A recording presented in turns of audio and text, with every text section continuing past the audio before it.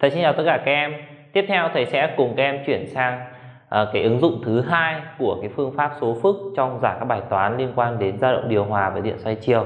Đó là ứng dụng của số phức giải các bài toán liên quan đến điện xoay chiều, đúng không? Thầy sẽ đi vào phần thứ nhất đó là lý thuyết cần nắm vững. Thì cái bản chất của nó thầy đã trình bày rất cụ thể trong sách không phải lý rồi. Ở đây thầy không trình bày lại nữa và thầy chỉ trình bày lại một số cái kết quả cơ bản mà chúng ta nhớ để vận dụng vào giải các bài tập, được chưa? Thì thứ nhất này, thầy xét mạch RLC xét mạch RLC mắc nối tiếp, đúng không? Theo thứ tự như sau. R, nối tiếp L và nối tiếp tụ điện có điện dung C. Đúng không? Thầy giả sử điện áp hiệu dụng đặt giữa hai đầu đoạn mạch là UAB có dạng UAB bằng U0 nhân cos của omega t mà cộng với phi U đơn vị là volt và cường độ dòng điện trong mạch được xác định bởi biểu thức là I bằng I0 nhân cos của omega t mà cộng với phi I, đúng không? Đơn vị ở đây là ampere được chưa? Thì từ cái phần dao động điều hòa thầy đã trình bày cho các em ấy, thì ở đây UAB và i nó cũng biến thiên theo dạng điều hòa, đúng không? U0 nhân cos của omega t cộng phi U và Y0 nhân cos của omega t cộng phi Y được chưa? Thì ở đây nó có thể biểu diễn dưới dạng lượng giác của số phức như sau. Thầy gọi cái dạng đấy gọi là u gạch ngang trên đầu đi, để ký hiệu này gọi là ký hiệu của cái dạng lượng giác nhá. Thì sẽ bằng gì nhỉ? U không, góc lượng giác là phi u. Còn cái y này thì thầy sẽ có là y gạch ngang trên đầu sẽ bằng gì nhỉ?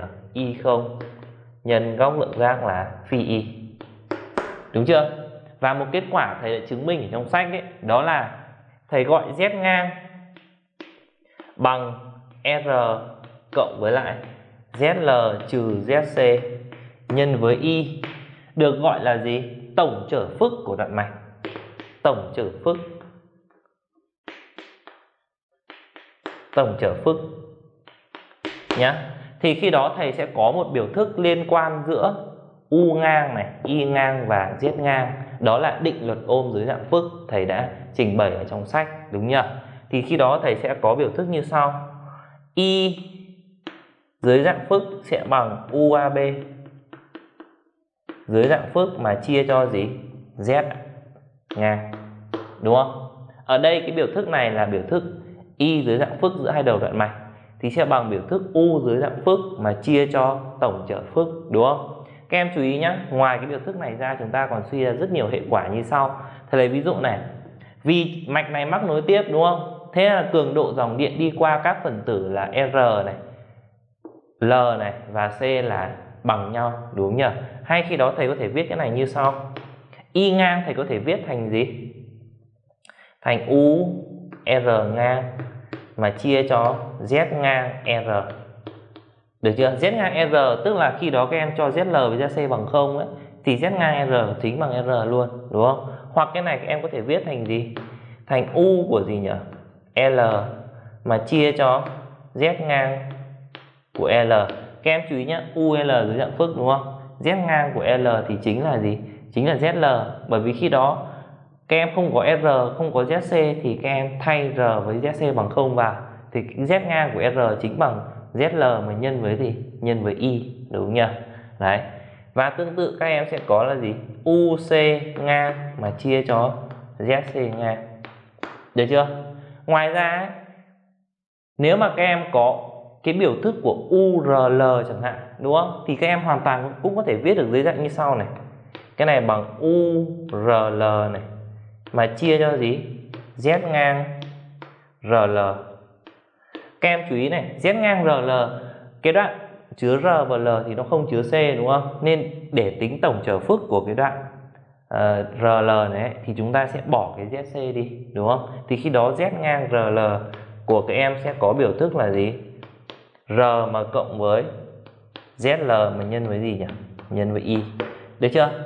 Như vậy các em xem này.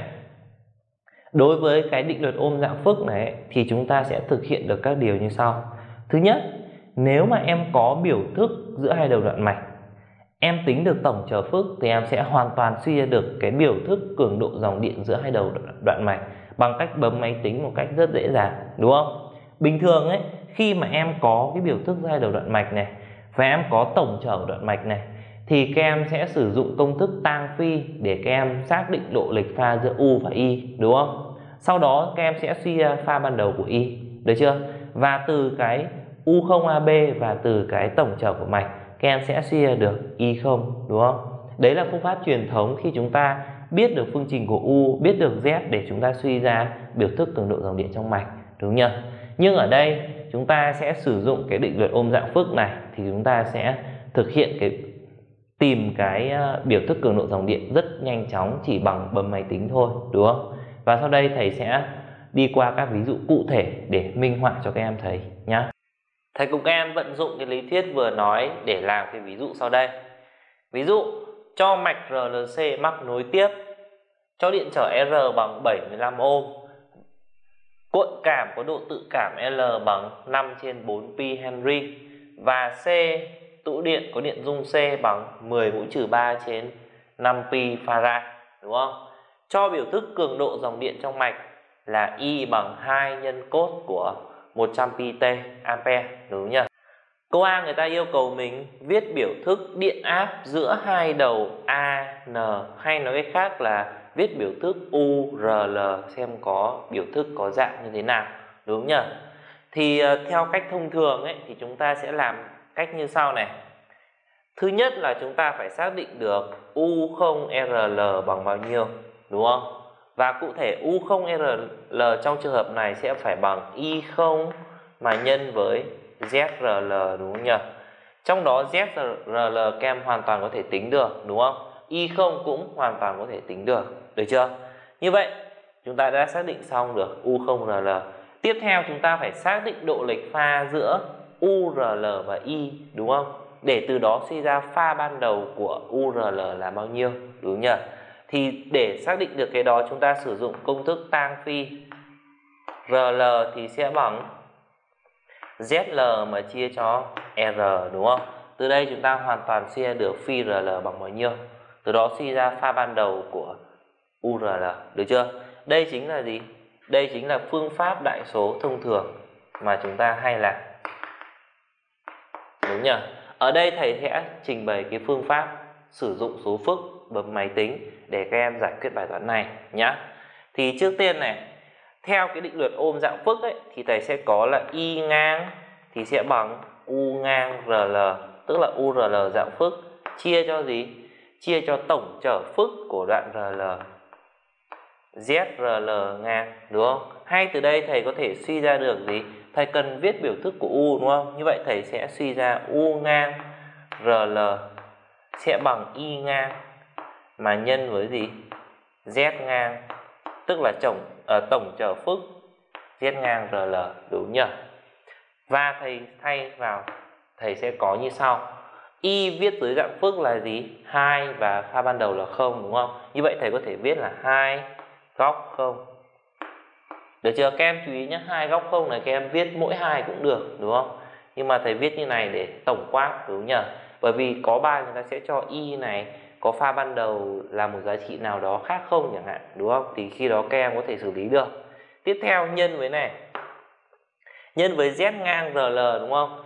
Z ngang rl thì thầy đã nói rồi tổng trở phức thì bằng gì? Có công thức là r này, mà cộng với lại zl trừ zc nhân với y đúng không? Nhưng mạch RL thì không có C, như vậy nó sẽ cộng với ZL nhân với Y được chưa? Và từ đây thầy sẽ có này, các em chú ý nhé Y này là Y ở cái số phức nhé chứ không phải là cái cường độ dòng điện trong mạch đâu nhá, đúng không? Tiếp theo thầy sẽ biến đổi như sau, bằng hai góc phi là không mà nhân với R ở đây bằng bao nhiêu 75 ohm đúng không như vậy thầy viết thành 75 mà cộng với này ZL ZL thì bằng omega nhân với L là bằng 100 pi mà nhân với 5 trên 4 pi đúng không? Thì nó sẽ bằng 125 125 ohm. Như vậy ở đây thầy có là 75 cộng 125 y đúng nhỉ? và từ đây thầy bấm máy tính, thầy sẽ có kết quả như sau 2 này góc 0 mà nhân với gì? 75 cộng với lại 125y sau khi bấm máy tính xong thì thầy sẽ được kết quả là 150 cộng với gì? 250y đây chính là biểu thức URL dưới dạng số phức. Ở đây là dạng đại số của số phức, đúng không? Chúng ta phải chuyển sang dạng lượng giác bằng cách ấn Shift 23 như vậy sau khi chuyển sang dạng lượng giác xong thì thầy sẽ có cái này sẽ bằng 50 căn 34 và góc pha ban đầu sấp xỉ là bao nhiêu? 1,03 đúng không? Vậy từ đây thầy sẽ có biểu thức URL sẽ bằng gì? 50 căn 3 căn 34 mà nhân với cos của 100 pt mà cộng với 1,03 đơn vị là gì? Volt đúng không? Như vậy thầy đã trình bày xong cái ví dụ thứ nhất. Thì các em có thể thấy là cái phương pháp đại số và phương pháp số phức này thì phương pháp đại số chúng ta tính lần lượt là ra thôi. Bạn nào nhanh nhẩm nhanh thì cũng có thể ra đáp án nhanh thôi đúng không nhỉ? Còn phương pháp này chúng ta chỉ việc bấm máy tính thôi. Không cần phải xác định xem là tan phi là bằng bao nhiêu hay là u 0 rl bằng bao nhiêu đúng không? Thầy kết thúc cái ví dụ này ở đây. Thầy chuyển sang cái câu tiếp theo trong ví dụ này được chưa? Thầy cùng các em chuyển sang ý b. Ý b người ta yêu cầu là gì? Tìm biểu thức giữa hai đầu đoạn mạch xem có giá trị là như thế nào đúng nhờ? Thì ở đây theo cái phương pháp số phức mà thầy vừa trình bày ấy, thì chúng ta ban đầu chúng ta phải tính được gì? Tổng trở phức của cái đoạn này bằng bao nhiêu đúng không? Như vậy ta có này z ngang ab tổng trở phức nhá thì sẽ bằng gì? Zl à, r. R mà cộng với zl trừ zc sau đó nhân với y đúng không? Và cụ thể đây sẽ bằng này. R thầy đã tính được bằng 75 rồi đúng không? Đề bài cho 75 cộng này ZL thầy vừa tính xong là 125 trừ đi ZC ZC ở đây là bằng bao nhiêu? 100 pi mà nhân với 10 mũ trừ 3 trên 5 đây, bây giờ thầy nhân nhé 100 pi này, nhân 10 mũ trừ 3 này, chia cho 5 pi này. Xong nghịch đảo lên thì chúng ta sẽ có là trừ đi 50 được chưa? ZC bằng 50 nhân y. Như vậy, tổng trở phức của chúng ta sẽ có biểu thức là 75 này, mà cộng với gì? 75 y. Đúng không? Và từ đây thầy sẽ hoàn toàn có thể suy được UAB sẽ có biểu thức như nào, đúng không? UAB dưới dạng phức thì có thể viết thành y dưới dạng phức và nhân với tổng trở phức ZAB và cái này có thể bằng y ở đây là bằng 2 góc là 0 sau đó nhân với gì? 75 cộng cộng 75y đúng không? Các em bấm máy tính ra thì các em sẽ có ngay là bằng. Với máy tính nhá, thì chúng ta sẽ được 150 mà cộng với 150 y được chưa? Sau khi bấm máy tính xong, chúng ta được 150 cộng 150 y chúng ta phải đổi sang gì? Dạng lượng giác của số phức, đúng không? Chúng ta ấn shift 23 chúng ta sẽ đổi sang. Và cái này nó sẽ bằng gì? 150 căn 2 và góc ở đây rất đẹp, đó là bằng pi trên 4 đúng không? Như vậy, thầy sẽ suy ra được UAB có biểu thức gì nhỉ? Suy ra UAB có biểu thức là bằng 150 căn 2 nhân cos của 100 pt pt trừ pi trên 4 được chưa? Đơn vị là vôn đúng nhỉ? Như vậy, rõ ràng là khi mà chúng ta dùng phương pháp số phức để giải cái bài toán, viết biểu thức liên quan đến điện xoay chiều này rất là nhanh đúng không nhỉ chúng ta chỉ việc tính tổng trở phức và chúng ta thực hiện định luật ôm theo dạng phức là xong được chưa thầy kết thúc ví dụ này đây thầy cùng các em chuyển sang ví dụ tiếp theo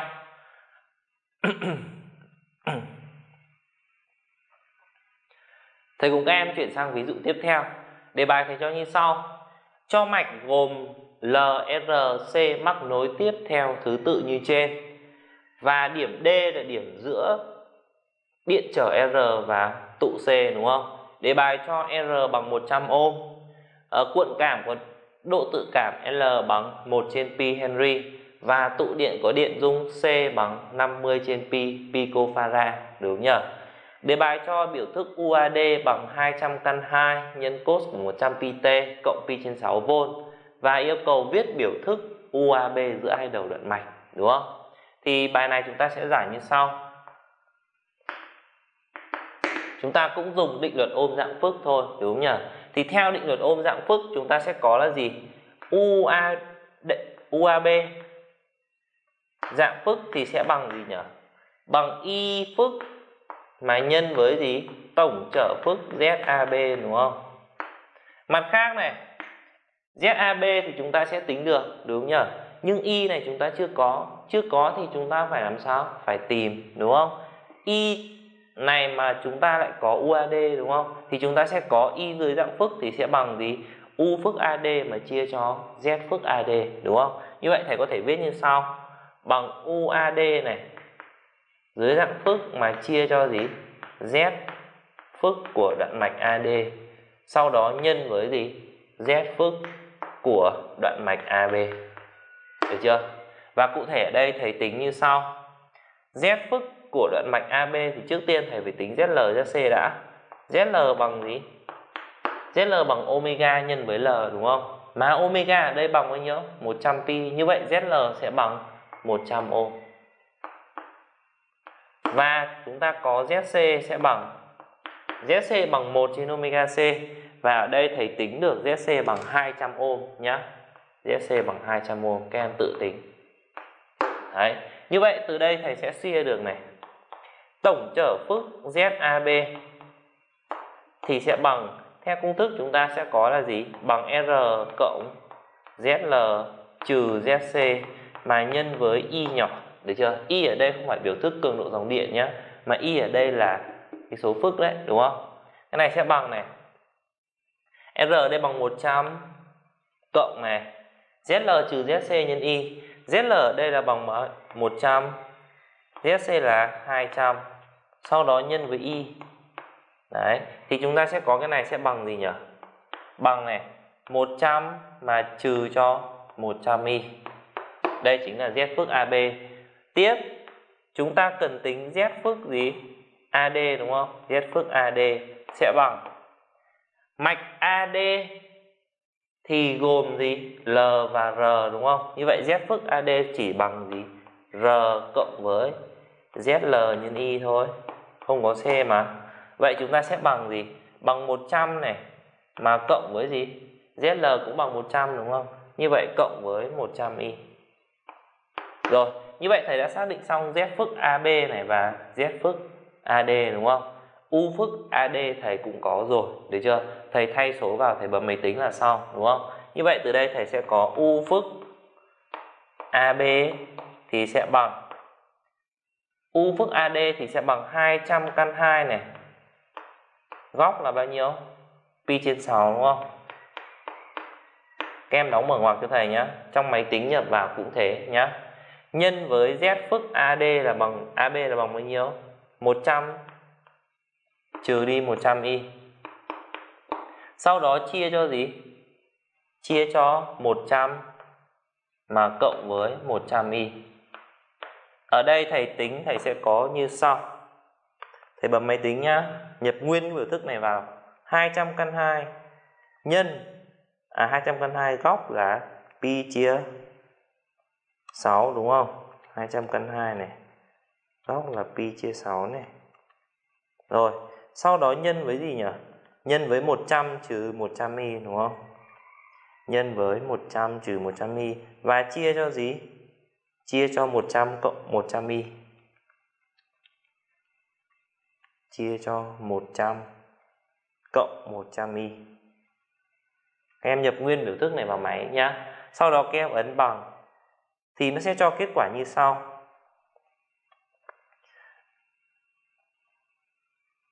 Ừ.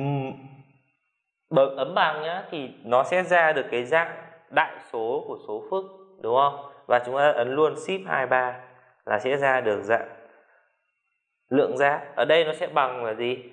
282,84 tức là bằng 200 căn 2 đấy đúng không? 200 căn 2 nhá. Và góc là bao nhiêu? Trừ pi trên 3 rất đẹp luôn đúng nhỉ?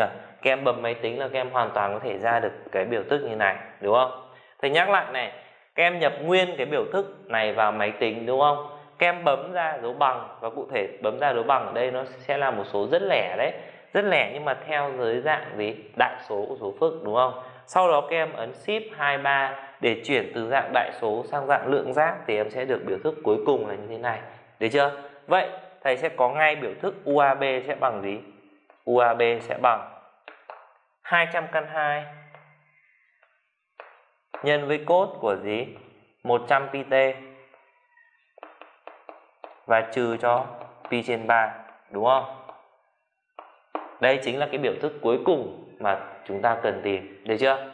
Các em thử làm lại cái này theo phương pháp thông thường nhé thì theo phương pháp thông thường ấy thì ban đầu các em phải viết được biểu thức của y, đúng không? Tức là từ UAD này này em tính ZAD này sau em tính độ lệch pha giữa UAD và y này thì em sẽ viết được biểu thức của y toàn mạch đấy đúng không? Sau đó từ biểu thức của y toàn mạch này em tính tăng phi AB này thì em sẽ tính được pha ban đầu của gì? Của AB này. Và các em tính ờ, uh, ZAB sau đó các em nhân với Y0 là các em được U0AB sau đó sẽ suy được biểu thức của UAB đúng không? Đấy là phương pháp đại số thông thường còn phương pháp, số phước này thì rõ ràng chúng ta chỉ việc làm sao? Bấm máy tính là xong, được chưa? Như vậy, thầy đã kết thúc ví dụ này đây. Thầy cùng các em chuyển sang ví dụ tiếp theo. Đề bài thầy cho như sau. Cho một đoạn mạch x gồm hai trong ba phần tử, r hoặc l hoặc c, mắc nối tiếp nhau. Biết biểu thức hiệu điện thế giữa hai đầu đoạn mạch x là ux bằng 80 nhân cos của 100 pt trừ pi trên 4 v và biểu thức cường độ dòng điện đi qua mạch là căn 2 nhân cos của 100 pt cộng pi trên 6 ampe. Đề bài hỏi đoạn mạch x chứa những phần tử nào và các phần tử đó có giá trị là bao nhiêu, đúng không? Thì bài này ấy, nếu mà giải theo phương pháp đại số thông thường ấy thì chúng ta sẽ làm như sau. Cách một này. Thứ nhất, để biết đoạn mạch x chứa phần tử nào thì chúng ta phải biết được độ lệch pha giữa u và y là thế nào với với nhau, đúng không? Và cụ thể ở đây là đoạn mạch gồm hai phần tử, đúng không? Như vậy nếu mà u mà sớm pha hơn y thì chúng ta suy ra ngay hai phần tử đấy là L và R. Còn nếu mà U mà trễ pha hơn Y thì chúng ta sẽ suy ra ngay hai phần tử đấy là gì? R và ZC đúng không nhỉ? Hay R và C đấy. Như vậy, bước đầu tiên chúng ta phải xác định độ lệch pha đúng không? Ở đây đề bà người ta cho gì? Cho pha ban đầu của UX rồi, cho pha ban đầu của Y rồi, hay nói khác là cho pha của X và cho pha à, cho pha của U và cho pha của Y thì từ đây chúng ta sẽ chia độ lệch pha giữa U và Y đúng không? Độ lệch pha giữa U và Y là phi sẽ bằng phi U trừ phi Y. Và cái này nó chính bằng gì? Bằng 100 pt trừ pi trên 4 này trừ cho 100 pt cộng pi trên 6 đúng không? Như vậy chúng ta sẽ có cái này sẽ bằng 100 pt trừ đi là mất như vậy sẽ còn là trừ pi trên 4 mà trừ cho gì? Trừ cho pi trên 6 đúng không? Và cụ thể cái này sẽ bằng gì? Bằng uh, trừ 10 pi trên gì? trên à, uh, 24 đúng không? Hay nói khác cái này sẽ bằng gì nhỉ? Trừ 5 pi mà chia cho 12 đúng không? Trừ 5 pi trên 12 thì rõ ràng nó làm sao? Nhỏ hơn không. Nhỏ hơn không nên chúng ta sẽ suy ra gì? Suy ra u trễ pha trễ pha so với gì? U trễ pha so với y. Đúng không? U trễ pha so với Y thì mạch này gồm gì? Suy ra X sẽ gồm gồm R và C. Đúng không? X sẽ gồm R và C. Và để tính được các giá trị R và C thì chúng ta chỉ việc lập hệ phương trình là chúng ta sẽ giải được thôi, đúng không? Phương trình thứ nhất là chúng ta sẽ có này là ZX sẽ bằng này. ZX sẽ bằng U0x mà chia cho Y0 đúng không? Tức là bằng 80 mà chia cho căn 2 và cái này sẽ bằng căn bậc 2 của gì r bình cộng zc bình đúng không và cái thứ hai chúng ta cần cần có đó là gì tang phi, đúng không tang phi sẽ bằng gì ZL trừ ZC trên R, nhưng mà ZL bằng không rồi, đúng không? Bởi vì mạch không có Z không có L, như vậy cái này sẽ là trừ của ZC trên R và nó bằng gì? Bằng tang của tang của trừ 5pi trên 12 đúng không? Như vậy, thầy đã thiết lập được hệ hai phương trình hai ẩn, đúng không? Và các em hoàn toàn có thể giải được R bằng bao nhiêu và ZC bằng bao nhiêu đúng không? Đây là cách thứ nhất, cách sử dụng theo phương pháp đại số thông thường đúng không? Tiếp theo thầy sẽ trình bày cách thứ hai, đó là chúng ta sẽ sử dụng cái định luật ôm dưới dạng phức đúng không nhỉ? Bây giờ thầy sẽ lập luận như sau này. Các em đều biết là nếu mà mạch gồm đủ 3 phân tử ấy thì cái tổng trợ phức của đoạn mạch sẽ được xác định bởi biểu thức là R cộng với lại ZL trừ ZC mà nhân với Y. Được chưa? Nếu mà mạch có hai phần tử ấy, hai phần tử thì chúng ta sẽ xảy ra các khả năng sau này. Một là nếu mà chỉ có ZL với ZC ấy, thì sẽ gì? Không có thì cái số phức Z ngang này sẽ không có phần thực đúng không? Còn trường hợp thứ hai là nếu mà mạch này có R với ZL ấy nhá, có R với ZL thì có phải ZC bằng không không? ZC bằng không thì mạch này có phần thực và phần ảo đều dương đúng không? Trường hợp thứ ba là gì? Mạch chỉ có R và ZC thì chúng ta sẽ có cái số phức này sẽ có phần thực là dương còn phần ảo là gì? Là âm đúng không? Như vậy chúng ta sẽ có ba khả năng này. Nếu B bằng à, nếu A bằng không đúng không? À đây các em chú ý là phần thực nhá, thầy ký hiệu tắt. Nếu A bằng không thì mạch gồm gì? Gồm L và C, đúng không? Tiếp này, trường hợp thứ hai nếu A khác không và gì? B tức là phần ảo cái này. Phần ảo nếu B mà lớn hơn không, thì chúng ta sẽ suy ra mạch gồm gì? Mạch gồm R và L, đúng không? Còn nếu mà A khác không, mà B mà nhỏ hơn không thì mạch sẽ gồm gì? R và và C, được chưa? Như vậy các em sẽ có này. Để xác định được mạch gồm những cái gì thì chúng ta sẽ xác định cái tổng trở phức xem bằng bao nhiêu, đúng không? Và cụ thể đây thầy có như sau. Z ngang của đoạn mạch x thì sẽ bằng gì? Bằng u của đoạn mạch x dưới dạng phức mà chia cho y dưới dạng phức đúng không? Và cụ thể thầy có này. U dưới dạng phức thì là gì? 80 góc pha là gì? Trừ pi trên 4. Trừ pi trên 4. Đúng không? Mà chia cho gì? Y ở đây là bằng căn 2. Góc pha là dương pi trên 6. Đấy. Bây giờ các em bấm máy tính thì các em sẽ có như sau. Các em bấm máy tính nhá. 80 này Góc pha là trừ pi trên 4 này.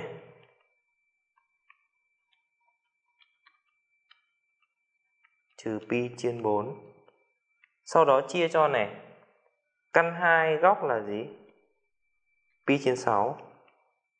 Thì khi đó chúng ta sẽ có, chúng ta sẽ có kết quả như sau. Cái này sẽ bằng trừ 20 cộng 20 căn 3 sau đó cộng với này cộng với trừ 20 trừ đi gì 20 căn 3 mà nhân với y như vậy các em thấy này đây là một số phức đúng không có phần thực là gì trừ 20 cộng 20 cân 3 là dương đúng không nhỉ Vậy R chính là bằng giá trị trị này đúng không? Số phức có phần thực thì phần thực đó chính là R mà, được chưa? Tiếp theo này, phần ảo của nó làm sao? Âm đúng không? Phần ảo âm thì chắc chắn là gì? Phần ảo âm thì mạch của chúng ta sẽ gồm R và C đúng không? Như vậy suy ra mạch gồm R và C. Suy ra X gồm R và và khi đó chúng ta ngoài việc biết x gồm r và c chúng ta còn tính luôn được các giá trị cảm kháng à, dung kháng và điện trở của nó đúng không cụ thể ở đây điện trở chính là bằng gì phần thực của số phức này đúng không như vậy chúng ta sẽ có r r sẽ bằng 20 căn 3 trừ đi 20 đơn vị là ohm và zc sẽ bằng ZC sẽ bằng 20 cộng với 20 căn 3 đúng không? 20 cộng 20 căn 3 đơn vị cũng là ohm được chưa? Như vậy thầy đã tính xong cái bài toán này, đúng không? Và các em thấy là gì? Cái cách thứ hai này của chúng ta ấy thứ nhất là chúng ta chỉ việc chia cho chia cái u phức mà chia cho y phức là chúng ta được z phức. Từ z phức chúng ta suy ra luôn được mạch gồm gì? Từ mặt khác từ z phức chúng ta lại còn tính được luôn các giá trị điện trở và giá trị dung kháng của nó bằng bao nhiêu đúng không? Thầy cùng các em chuyển sang ví dụ tiếp theo. Ví dụ này chính là một câu trong đề thi đại học năm 2011 câu này khá là hay được chưa nhỉ đề bài cho như sau. À, cho mạch Đoạn mạch AB gồm hai đoạn AM và MB mắc nối tiếp. Trong đó đoạn AM gồm điện trở thuần R1 nối tiếp với tụ điện có điện dung C. Đoạn MB gồm điện trở thuần R2 nối tiếp với cuộn cảm thuần L. Đề bài người ta cho R1 bằng 40 ohm, C bằng 10 mũ trừ 3 trên 4 pi farad và biểu thức điện áp giữa hai đầu AM là bằng 50 căn 2 nhân cos của 100 pt trừ 7 pi trên 12V. Còn UMB bằng 150 nhân cos của 100 pt, được chưa? Và đề bài yêu cầu tính gì? Cos phi AB, tức là hệ số công suất của đại mạch AB bằng bao nhiêu, đúng không? Thì trước tiên chúng ta phải xem xem là chúng ta cần phải tính những cái gì để có thể tính được cos phi AB, được chưa? Thì các em chú ý này, cos phi AB thì bằng R trên Z, đúng không? Ở đây có hai điện trở R1 và R2 như vậy cos phi AB phải bằng gì? R1 cộng R2 mà chia cho gì? ZAB. Được chưa? Bây giờ các em để ý này, R1 có rồi, đúng không? Như vậy để tính được cos phi AB chúng ta cần phải tính được gì? R2 và phải tính được ZAB. Đúng không? Ở đây ZAB chúng ta sẽ tính được bởi vì sao? Thứ nhất này, em sẽ viết được biểu thức giữa hai đầu đoạn mạch AB đúng không? Bằng cách lấy UAM cộng UMB, được chưa? Và các em hoàn toàn có thể tính được cường độ dòng điện bởi vì chúng ta có cái đoạn mạch AB à AM đấy nhá thì chúng ta sẽ tính được ZAM bằng bao nhiêu, đúng không? Và chúng ta có UAM rồi là chúng ta sẽ chia được Y bằng bao nhiêu, được chưa? Như vậy thầy hoàn toàn có thể tính được ZAB, đúng nhỉ? Và còn cái điện trở R2 này thì sao? Thì lát nữa đến đó rồi thầy sẽ phân tích nhá. Trước tiên thầy sẽ tính ra b trước, đúng không? Thì thầy có như sau, ta có UAB thì bằng gì? Bằng UAM mà cộng với gì? UMB rõ ràng đây là gì? Đây là tổng hợp của hai dao động điều hòa, đúng nhỉ? Và chúng ta sẽ sử dụng máy tính bấm cho nhanh nhá. Cái này sẽ bằng này. 50 căn 2 góc bao nhiêu? Góc trừ 7 pi trên 12 mà cộng với gì? 150 góc là không, đúng không? Và cụ thể đây, thầy sẽ bấm thêm bằng bao nhiêu nhá. 50 căn 2 này. Góc là trừ 7 pi chia 12 đúng không? Sau đó cộng với 150 góc là không. Sau khi đổi ra dạng lượng giác thì chúng ta sẽ có như sau. Cái này nó xấp xỉ bằng 148 phẩy 36 góc là bao nhiêu? Góc là trừ 0,48 được chưa? Các em chú ý nhé lẻ như này kệ nhá. Bởi vì đáp án của chúng ta ấy, đáp án mà bộ cho ấy, cũng ra lẻ đúng nhỉ như vậy chúng ta giữ nguyên giá trị này được chưa? Vậy ở đây chúng ta sẽ có là U0AB sẽ bằng 148,36 đúng không? Chúng ta quan tâm đến cái U0AB mà. Như vậy từ đây chúng ta sẽ có UAB hiệu dụng thì sẽ bằng gì? 148 phẩy gì? 36 mà gì? Chia cho căn 2 đúng không? Bởi vì đây là giá trị U0, được chưa? Vậy thầy lấy thầy chia cho căn 2 nhé thì nó ra sấp xỉ là bằng bao nhiêu? 105 đơn vị là gì? Vôn, đúng không? Vậy thầy đã tính được UAB rồi. Để tính được ZAB thầy cần tính Y giữa hai đầu đoạn mạch, đúng không? Rất dễ thôi. Y giữa hai đầu đoạn mạch. Mà Y thì bằng gì? U hiệu dụng AM có rồi nhá. ZAM các em hoàn toàn có thể tính được nhá. Như vậy Y sẽ bằng UAM hiệu dụng. Mà chia cho gì? ZAM hiệu dụng. Và cái này sẽ bằng gì? ZAM nhé, không phải hiệu dụng. À, Chúng ta sẽ bằng này. UAM hiệu dụng thì bằng 50 ZAM bằng căn bậc 2 của R bình. R bình là 40 bình. Thầy tính ZC sẽ bằng bao nhiêu nhá. ZC ở đây sẽ bằng 100 pi này nhân với 10 mũ trừ 3 này mà chia cho 4 pi này. Sau đó nghịch đảo lên. ZC bằng 40 nhá. Như vậy. 50 chia cho căn của 40 bình cộng 40 bình. Tức là chúng ta sẽ có 50 chia cho căn của 40 bình cộng 40 bình. Tức là y nó sẽ bằng 5 căn 2 mà chia cho 8 đơn vị là ampere. Thấy chưa? Từ đây thầy sẽ suy ra được gì? Suy ra được ZAB sẽ bằng 105 mà chia cho cái này 105 chia n. Bằng 84 căn 2 đơn vị là ôm được chưa? Như vậy, thầy đã tính xong cái gì? Tính xong ZAB đúng không? Bây giờ thầy cần tính R2 đúng nhỉ?